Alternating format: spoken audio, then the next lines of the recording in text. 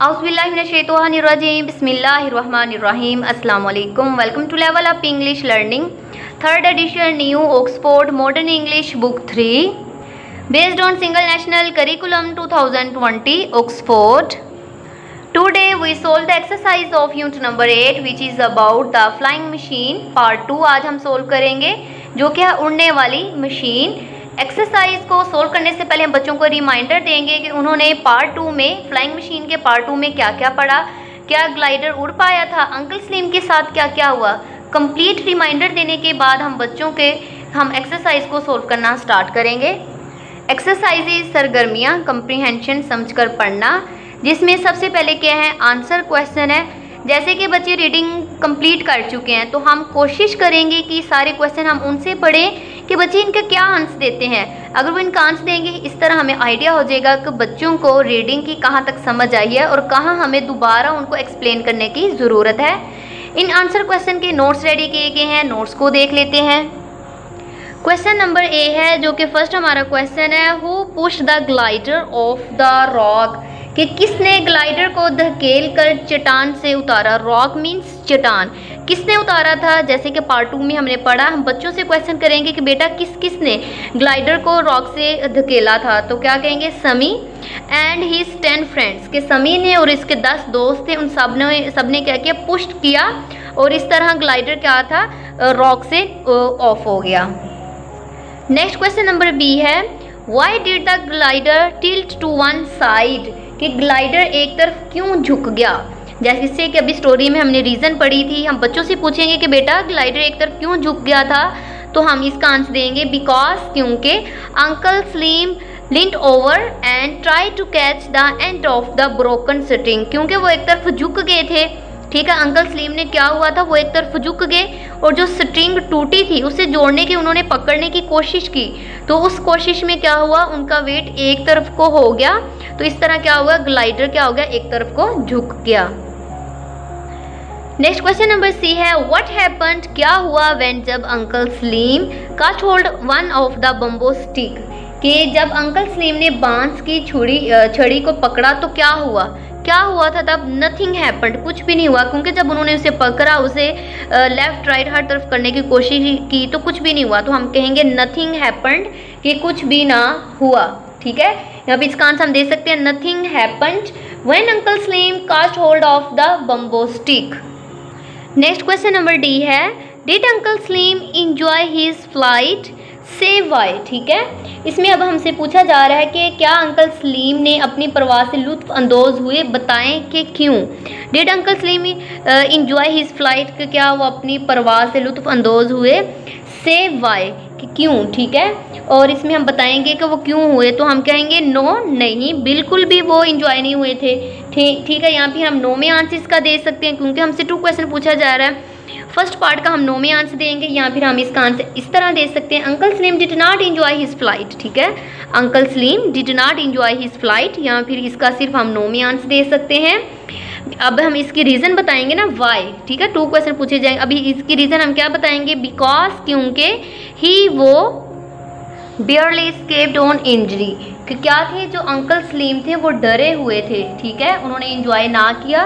वो डरे हुए थे कि वो वो बड़ी मुश्किल से चोट लगने से महफूज रहे थे, इसलिए। उन्होंने अपनी फ़्लाइट को इंजॉय ना किया। नेक्स्ट क्वेश्चन नंबर ये है what other materials could Sami have use to build the glider कि समी ने ग्लाइडर को बनाने के लिए कौन सा मवाद इस्तेमाल किया मटेरियल्स जैसे कि हमने लेसन नंबर सेवन में मटेरियल्स और टूल्स दोनों आंसर क्वेश्चन ठीक है? क्वेश्चन में हमने दोनों का बताया था मटेरियल्स का भी और टूल्स का भी। वही इसमें सेम हम आंसर करेंगे कि बम्बो था वुड बम्बो थे वुड न्यूज़पेपर सिक्रू थे string and bright blue colour के। ये सब चीज़ें उसने अपने ग्लाइडर को बनाने के लिए इस्तेमाल की। नेक्स्ट क्वेश्चन नंबर एफ़ है एफ़ है यहाँ पे when did uncle Salim shriek and why कि जो अंकल सलीम थे, वो क्यों चिल्लाए? At what time do people shriek और किस वक्त जो लोग होते हैं, वो चीखते हैं? ठीक है, अब हमसे टू क्वेश्चन पूछे जा रहे हैं। पहले हम आंसर देंगे अंकल सलीम का, फिर हम बताएँगे लोगों का, ठीक है? हम बताएँगे अंकल सलीम श्रीक्ड बिकॉज़ या फिर इसका आंसर हम बिकॉज़ से ही स्टार्ट कर सकते हैं। Because he was afraid of falling ठीक है? कि वो डरे हुए थे कि वो कहीं गिर ना जाए, ठीक है? क्योंकि वो गिरने के खौफ से, की वजह से खौफ ज़्यादा थे और उस वजह से वो चिल्ला रहे थे। नेक्स्ट पीपल्स का पूछा जा रहा है कि लोग कब किन मौक़ों पर चीखते हैं तो हम कहेंगे people shriek when they are afraid कि लोग उस वक्त चीखते हैं जब वो खौफ ज़्यादा होते हैं। इसी तरह जब अंकल सलीम भी क्या थे, डरे हुए थे तो डर की वजह से वो क्या चीख रहे थे, ठीक है? तो इसी तरह जब अंकल सलीम चीख रहे थे डर की वजह से तो यही रीज़न है लोगों की भी कि जब लोग डरते हैं तो डर की वजह से वो क्या करते हैं? चीखते हैं। नेक्स्ट आंसर क्वेश्चन है, जो कि सियाको सबाक की तरह होते हैं। स्टोरी में से लाइन ली जाती है, फिर उसके अकॉर्डिंग आंसर क्वेश्चन किए जाते हैं। ओह my goodness he said to himself now what shall I do अब देखिए यहाँ पे हमने लाइन पढ़ी। सबसे पहले हमसे क्वेश्चन पूछा जा रहा है, इसी सेंटेंस के according who is the speaker कि ये लाइन किसने बोली है? ये लाइन किसने बोली है? तो हम कहेंगे अंकल सलीम ने बोली है, ठीक है? किसने ये लाइन बोली है? अंकल सलीम ने बोली थी, जब हम रीडिंग कर रहे थे, ठीक है? Where was the speaker when this line was spoken कि जब ये लाइनें बोली गई हैं तो बोलने वाला कहाँ था? तो हम कहेंगे ऑन द ग्लाइडर कि वो ग्लाइडर में था, ठीक है? जब उसने ये लाइन बोली। नेक्स्ट है what made the speaker say oh my goodness कि स्पीकर को किस चीज़ ने ये कहने पर मजबूर किया, ओह मेरे खुदाया। ओह माय गुडनेस का मतलब होता है, ओह मेरे खुदाया। ऐसी क्या चीज़ होगी कि स्पीकर ये लाइंस बोलने पर मजबूर हुआ? तो हम कहेंगे the breaking of the string the breaking of the string. इसका आंसर यहाँ तक दे सकते हैं, हम हम कह सकते हैं the breaking of the string made the speaker say that. या फिर शॉर्ट आंसर दे सकते हैं, the breaking of the string कि जो डोरी के टूटने पर, ठीक है, उसने स्पीकर ने ये लाइंस बोली। नेक्स्ट है what did he do to get out of the this trouble कि इसने इस मुसीबत से निकलने के लिए क्या किया? क्या किया था? ही ट्राइड उसने कोशिश की टू कैच वो पकड़े hold of the broken string so that he may mend it ठीक है? इसने टूटी हुई डोरी को पकड़ने की कोशिश की ताकि वो इसकी मरम्मत कर सके। फिर हम खुद से बच्चों से क्वेश्चन कर सकते हैं क्या आ, अंकल सलीम उस डोरी को पकड़ पाया था? बिल्कुल भी नहीं। अभी हमने क्वेश्चन पढ़ा क्या हुआ? उनका वेट क्या हुआ? एक तरफ़ ही हो गया तो क्या होगा? ग्लाइडर इस तरह नीचे ज़मीन पर गिरना शुरू हो गया। वर्किंग विद वर्ड्स लफ्ज़ों के साथ काम करना यहाँ पे देखते हैं कहा जा रहा है वट आर दीज कि ये क्या है सम में have to correct answer something that यहाँ पे जैसे रीडल होती है ना पहेलियाँ उसी तरह ये पूछा जाता है पहेली की तरह हम कोशिश करेंगे जो कि हमें हमारे चैप्टर में दिए गए हैं वो भी पूछें इसके अलावा हम बच्चों से इसकी और मज़ीद प्रैक्टिस करवाएँ यहाँ पे देखिए सबसे पूछा गया keeps us warm at night ऐसी कौन सी चीज़ है जो हम हमें रात को गर्म रखते हैं? तो हम क्या कहेंगे? ब्लैंकेट मतलब कंबल। We can see ourselves in ऐसी कौन सी चीज़ है जिसमें हम खुद को देख सकते हैं? तो हम कहेंगे mirror we can use to stir tea ठीक है? मतलब चाय को हलाने के लिए कौन सी चीज़ यूज़ की जाती है? Spoon we can use to cut with knife ठीक है? चीज़ों को कट करने के लिए हम नाइफ यूज़ करते हैं। We wear on our heads cap भी और हेड भी, दोनों चीज़ें हम अपने सर पर पहनते हैं। We eat off plate and bowl ठीक है? इन दोनों का ये बताया जाएगा। यहाँ पे क्या है? चैलेंज चैलेंज में क्वेश्चन है। When did uncle Salim's face go white and why कि अंकल सलीम का चेहरा कब सफ़ेद पड़ गया और क्यों? हाँ जी, हम बच्चों से क्वेश्चन करेंगे कि बेटा हमें चैलेंज मिला है, इसका आंसर देना है। कब अंकल सलीम का चेहरा वाइट हो गया और क्या वजह थी उसकी? तो इसका आंसर हम देंगे व्हेन जब glider was flying high in the air कि जब ग्लाइडर हवा में बुलंद, बुलंदी पर उड़ रहा था तब, ठीक है? हिज फेस वेंट वाइट और इनका फेस सफ़ेद हो गया बिकॉज़ क्योंकि he was afraid of falling कि उनको ये था कि अब मैंने गिर जाना है और गिरने की वजह से, उस खौफ की वजह से उनका सफ़ेद चेहरा हो गया। लर्निंग अबाउट लैंग्वेज ज़बान के बारे में सीखना। इसमें ज़बान के बारे में कहा जा रहा है add not to the following sentences अब हमने क्या करना है? हमें अफॉर्मेटिव मतलब सिंपल सेंटेंस दिए गए हैं उसमें हमने नॉट लगाना है। ठीक है? जो कि हमें नीचे वर्ब दिए गए हैं उनको चेंज करना है। जैसे कि सबसे पहले हमें एग्ज़ाम्पल दी गई है। अंकल स्लीम केप्ट क्वाइट ठीक है? सेकेंड फॉर्म यूज़ की गई है। ये पास्ट सेंटेंस uh, है। तो पास्ट सेंटेंस को जब नेगेटिव में हम चेंज करते हैं तो हेल्पिंग वर्ब जो हमारा होता है डिड नॉट में आ जाता है। तो हम कहेंगे uncle Salim did not keep quiet और डिड नॉट के साथ हम फ़र्स्ट फॉर्म यूज़ करते हैं। तो हम कहेंगे uncle Salim did not keep quiet uncle Salim landed on a tree uncle Salim did not land on a tree ठीक है? नेक्स्ट है uncle Salim was very happy तो हम यहाँ पे इसका आंसर देंगे uncle Salim was not very happy ठीक है? वॉज़ नॉट आ जाएगा। यहाँ पे और ऊपर डिड नॉट और यहाँ पे भी डिड नॉट आ जाएगा। नेक्स्ट है a conjunction is a word that joins together words और फ्रेजेस ठीक है?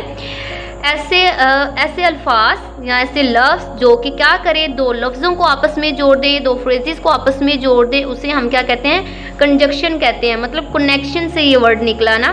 कनेक्शन मतलब जोड़ देना, जैसे ब्लैक एंड वाइट तो एंड इसमें क्या होगा? कंजक्शन होगा। मतलब दो लफ्ज़ों को उसने जोड़ दिया ना ब्लैक एंड वाइट को। तो ये क्या है? यहाँ पे एंड यहाँ पे नीचे कुछ एग्जाम्पल्स दिए गई हैं। इनको कहा गया फिलिंग द ब्लैंक कंप्लीट करें। हेल्प बॉक्स यहाँ पे दिया गया है। The man the man was young and smart ठीक है?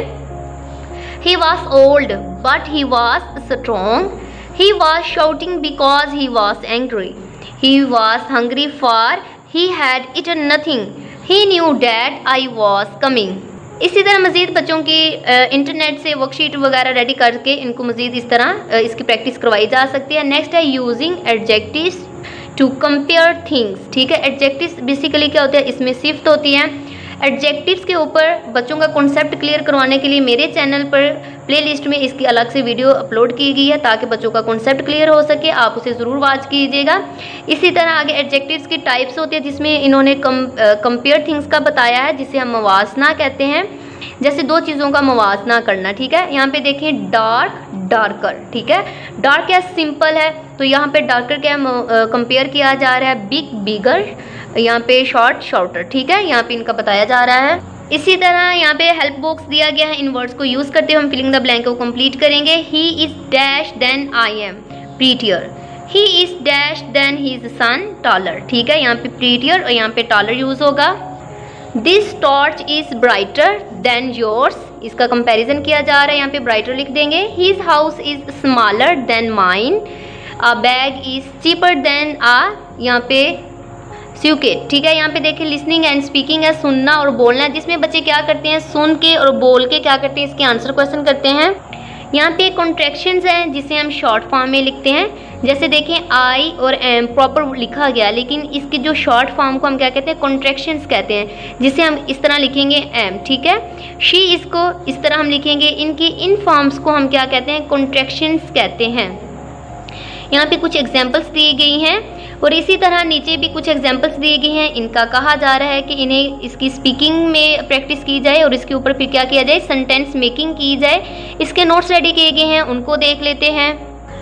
यहाँ पे देखिए जो कि सबसे फ़र्स्ट वर्ड है। यहाँ पे आई एम को लिखा गया एम जो इसे हम स्पीकिंग करेंगे। I am going to school words what's your name there they are playing cricket he is singing a song she is reading a book we are को हम कहेंगे were we are we are swimming next word है can't I can't sing ठीक है? इसका मतलब can not होता है। इसे हम इस तरह बोलेंगे that's that's my brother it's it's a good book you you को हम बनाएँगे you made a mistake next है कंपोजिशन जिसे हम कहते हैं तहरीर। यहाँ पे would you like to go up in a flying machine यहाँ पे कहा जा रहा है कि आप किसी उड़ने वाली मशीन में बैठना पसंद करेंगे। इज़ इट सेफ़ क्या ये महफूज होगा? Discuss and write two paragraphs using the framework below यहाँ पे कहा जा रहा है कि टू पैराग्राफ आप राइट करेंगे इसके according try to make other people agree with you और आपने कोशिश करनी है कि दूसरे लोग भी आपसे मुतफिक हों। इस तरह इसके ऊपर हम फ़र्स्ट पैराग्राफ और टू पैराग्राफ राइट करेंगे। फ़र्स्ट पैराग्राफ की स्टार्टिंग भी बताई गई है सेकेंड की भी, इसके नोट्स रेडी किए गए हैं, उनको देख लेते हैं। लास्ट क्वेश्चन सोल्व करने से पहले मैं ये कहूँगी, मेरे चैनल को सब्सक्राइब, लाइक, शेयर ज़रूर कीजिए ताकि हर नए आने वाली वीडियोज़ की नोटिफिकेशन आपको टाइम से मिल सके। यहाँ पे है I would like to go up in a flying machine कि मैं किसी उड़ने वाली मशीन में बैठकर उड़ना पसंद करूँगी या करूँगा?